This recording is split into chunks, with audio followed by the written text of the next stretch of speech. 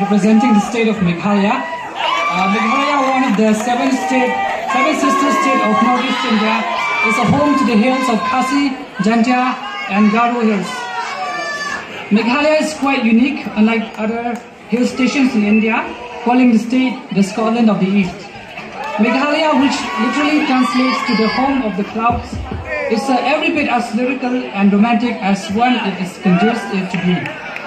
The title of the song that we're going to present in front of you here is called Meghalaya, the sweetest, the sweetest homeland of the clouds. We hope you enjoy it.